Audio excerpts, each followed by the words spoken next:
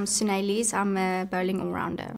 I have an older brother, so we used to play with the ashes and everything back in the yard. There was enough space for pitch and a few extra pitches next to it as well. We had a T20 competition, the World Cup 50 over, and the ashes going. I like bowling the guys out. Got very competitive. I was at a cricket camp with my boys' team, and Joe Rudolph was there, and he was like, "Do you fancy leg spin?" Because I was an opening seam bowler back in the day.